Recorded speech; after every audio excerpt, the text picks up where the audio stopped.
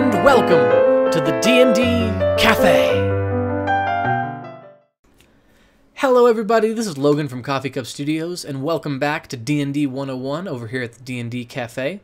Last episode I showed you guys how to make a first level character and in this episode I'm going to show you guys how to level up.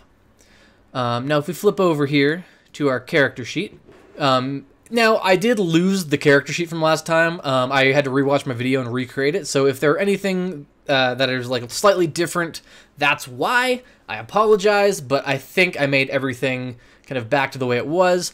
Also, I did realize last video I forgot to go over one of the Bard inherent features known as Bardic Inspiration, so I'm going to cover that real quick. So if we flip over to our Bard page and scroll down, kind of past spellcasting and things like that, what we have right here is Bardic Inspiration, which I totally forgot to go over and I really apologize for. Um, that's also, uh, you can see it up here, spellcasting and Bardic Inspiration. Spellcasting I did kind of go over, Bardic Inspiration I did not, which is uh, unfortunate and I apologize. So here's a little blurb on how Bardic Inspiration works. So basically, you can kind of say words or play a song that kind of inspires your teammates and kind of allows them to do better on rolls currently at a low level. The uh, Bardic Inspiration is a d6, which I have noted right here. So basically, you can give a d6 to another player to use on another one of their rolls. It's kind of an important feature of Bard, and I really apologize I went over that. Or I didn't go over that even. Anyways, so now let's get into actually leveling up your character. So the first thing you're going to want to do is roll your health. So now if we flip back over here, go down. Right here, hit points and hit dice. Hit points at higher levels, that's what we want to focus on. All right, so you'd roll 1d8, or you can take just a base 5, and then you'd add your constitution modifier per bard level above first, or so basically in our case, we'd be leveling up to level 2. So we would do that one time. I'm For simplicity's sake, I'm just going to take the 5. So we'd be at 14, and then we'd add our constitution modifier, which is 1. So we would be at 15. change the max health there. And then the next thing we need to do is we need to kind of go back down to this table here and check what other things we get. Because this is kind of important. So our proficiency at second level does not change, so we can leave that alone. Um, we do get two new features, which I will look into. Our cantrips known is the same. Our spells known goes up by one, and we also get one more first level spell. So first of all, let's cover these features real quick. So scroll down underneath this. So Jack of all trades. All right, so starting at second level, you add half your proficiency bonus rounded down. So in this case, half our proficiency bonus rounded down would be one to any ability check that you make that doesn't already include your proficiency bonus. So that's good. So for traits like, I don't know, Arcana or something like that, that we're not too familiar with, we add half of our proficiency. So to Arcana, we would actually have a plus one instead of a zero. I didn't have these filled out from last time, because um, like I said earlier, the character sheet had some issues. Yeah, so now we'd have a plus one to things where we would normally have a zero, and for strength checks, we would have a plus zero rather than a minus one, which would be very good. So going back here, we also get Song of Rest, which is right here. So beginning at second level, you can use soothing music or oration to help revitalize your wounded allies during a short rest. So let's see. So this kind of helps regain hit points during short rests and things like that, which is good because normally you would only regain hit points during a long rest or through the use of potions or magic. And I guess you can regain hit points through a short rest, but you'd have to expend hit dice, which is determined by your level. Um, speaking of that, we actually get one more hit die uh, meaning during a short rest we can expend two hit die now to do like a, a short heal. And also I would record these new features over here. So first feature was Jack of all trades. And then the next one was Song of Rest.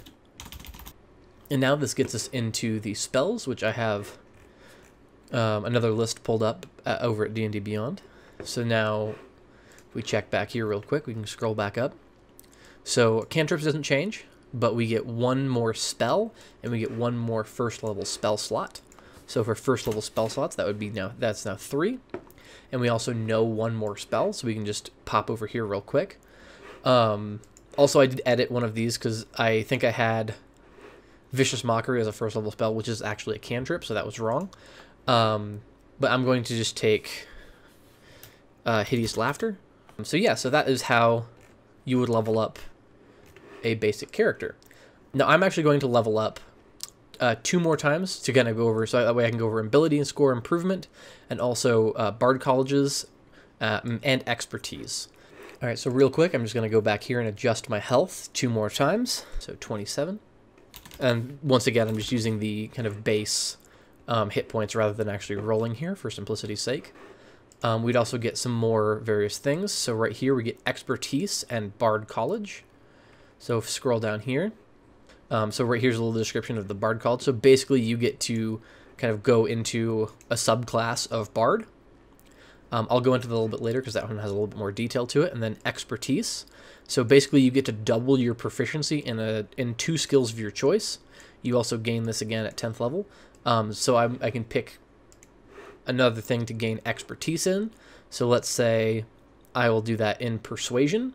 So rather than having proficiency, or sorry, proficiency bonus and then my charisma bonus, it would be charisma plus proficiency twice. So it would be a plus 7 rather than just a plus 5. Um, and I get to choose that for two skills, so I would also choose that for, uh, let's say, I don't know, acrobatics, so I'd have a plus 7 there as well. Now going over to Bard College, um, this is where you kind of get to choose your subclass, um, and this is kind of, you can do whatever kind of fits your character best. So just kind of reading through, there's uh, kind of large descriptions, this one and each they kind of give you little uh, buffs as you level up as well. Um, so this one, kind of the base one that you would get, is you can add this to attack rolls and things like that. Um, this one's kind of more attack based, whereas the other one is kind of uh, the other one is kind of more um, kind of crafty knowledge and stealth based. Um, so I think it would make sense for my character to be more of the College of Lore, so I would probably go and record that down here real quick. Um, actually, no, I would probably just write that down here real quick. And then expertise I'm not going to write down because I just add that to stats. And then at third level, um, you get this little ability here. So I would probably write that over here. And then a little room for description.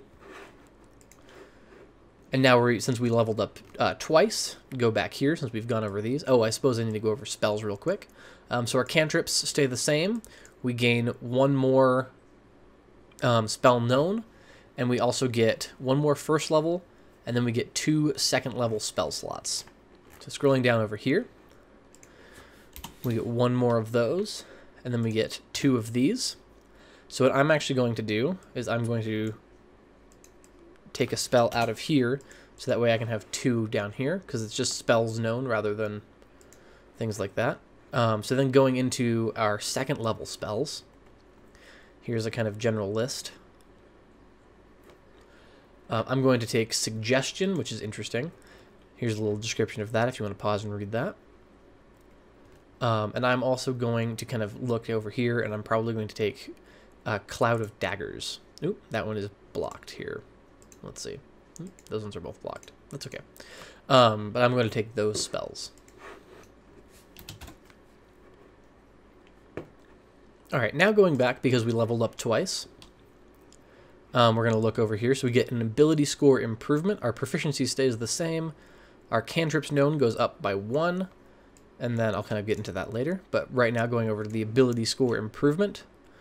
Scroll down here real quick. So ability score improvement. Um, you can kind of read over this. So basically we get to choose um, one score, one of our ability scores we can increase by two, or two we can increase by one. So going back here, since we are charisma based, I'm just going to boost that by two. So from 16 we go to 18, which then changes this to a plus four. Um, and then we'd have to check our charisma based ones because this would go up by one and then our spell casting and things like that would change. So the spell save DC would go up by one. Whoops. And I believe our spell attack bonus would also go up by one. Now going back here, since that's all we got at this level, um, that's quite handy because that way you can kind of buff your stats. Um, or say even if I was happy with my charisma being a 16, I could have buffed my wisdom, intelligence, or strength um, so that way I could have kind of helped boost some of my lower stats. Um, but going back here real quick, so at fourth level, I suppose we're now fourth level, based on what I've been doing here. Um, so we get one more cantrip, seven spells known, and we get one more second level spell slot. So going down here, I'm going to change that real quick. So we have three second level spell slots. And we get one more cantrip. So let's look back up at cantrips here. Um, now I can take Vicious Mockery. And then now that we know seven spells, we only have six here, so now I can choose if I want to take a first level or a second level. I'm going to choose a second level, because those are usually a little bit more fun. Um, and I'm going to take the Heat Metal spell. This is quite a fun spell if you're fighting anybody with armor and things like that. Alright. So now that I've kind of shown you how to level up a couple levels here, that's how that stuff works. Um, so you kind of get gain access to higher spells, your hit points increase, um, you have the opportunity to kind of buff some of your weaker stats, um, and you learn more spells as you kind of go along. And yeah, and then make sure you record all the various features and stuff you get, because um, those are always good to have some sort of reference towards. But yeah, thank you guys for watching, and I will see you guys in the next video.